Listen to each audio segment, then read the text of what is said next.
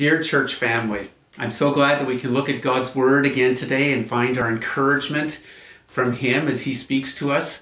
Um, I just want to first of all say to all of you as a church family that each of us as pastors has a phone list of more than 50 people, and we're working through it. So um, we've had wonderful conversations with so many of you, encouraging my heart. I know the other pastors felt the same, and we've been able to pray with you. So let's keep at that. And I want to encourage you, phone one another. Take the church directory and phone other people. So if we haven't called you yet, we're still working through the list. And what I love is that I've been on the phone with some people for half an hour or more, and we, we're not in a hurry. We're taking the time to talk and pray. So we want to call you. We're going to get to you soon. And please don't hesitate to call the church.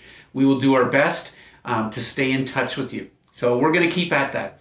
But what I'm really excited about this morning, even before I preach from Romans 15, is Lisa has prepared a song. And the name of the song is called Word of God Speak.